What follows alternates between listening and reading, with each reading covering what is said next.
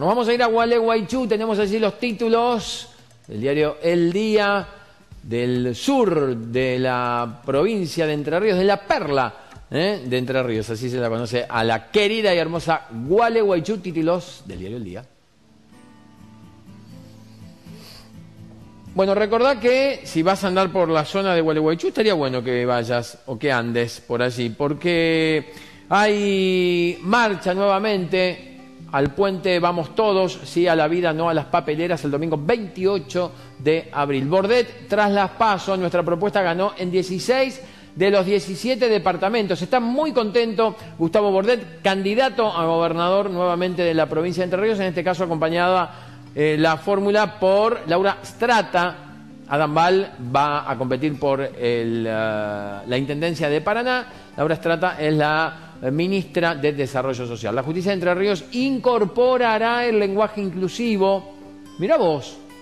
Será a través de una guía de estilo destinada para todo el Poder Judicial. Buscan sumar una herramienta aplicable a la comunicación y que además permita la visibilización de la diversidad. No se van a utilizar la E, ni la X, ni la eh, ni el arroba. ¿eh? Entonces, ¿cómo va a ser? Bueno, pero está bueno igual, ¿eh? hay, que, destacarlo.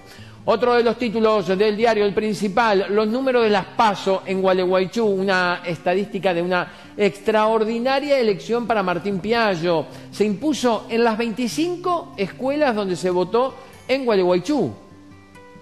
¡Qué bárbaro! El dato hace aún más eh, importante la victoria del domingo. Hubo mesas céntricas como la de la número 1929 de la ENOVA, donde el oficialismo sacó más del 58%. Fue muy pobre la performance de la oposición. Aún en la peor urna para el PJ, la lista 2 se impuso con el 37,99% de los votos, muy por encima del 26,88% de Cambiemos y el 14,34% del peronismo disidente. Parece que no escucharon al presidente en Gualeguaychú. ¿eh?